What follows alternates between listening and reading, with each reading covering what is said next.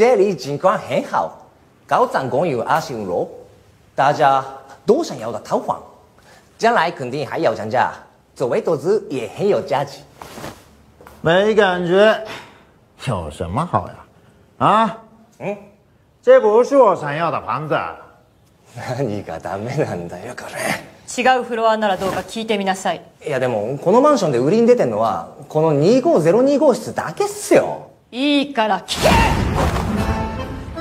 なあちいたろうぜん。ないらっしゃいましたおお何やってん。だ庭の家を売ってもいい方は見つけましたどうぞ失礼します後藤様808号室にお住まいですここはうちと同じ間取りだけどうわやっぱ25階は眺めがいいね808を9000万で買ってくれるって本当なの？808はどうですかと聞け。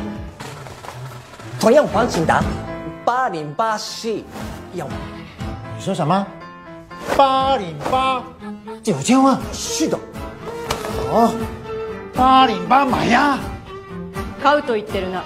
はい。